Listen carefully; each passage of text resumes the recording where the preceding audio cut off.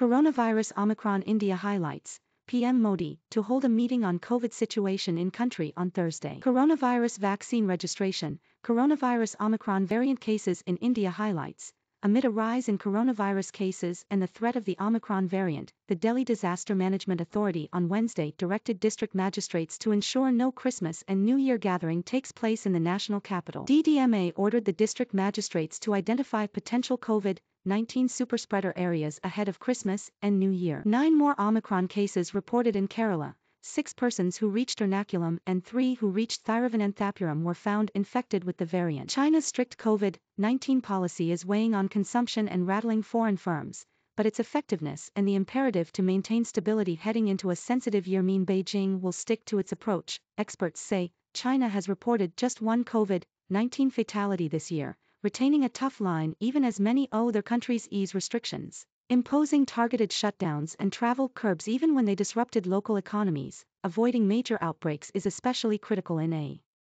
year when Beijing hosts both the Winter Olympic Games and the once every five years Communist Party Congress, where President Xi Jinping is expected to clinch a third term as party secretary, Beijing has been eager to burnish its record on tackling COVID 19, which a government white paper has described as among the most important achievements of its governance model, and often points out the high death tolls elsewhere, especially the United States.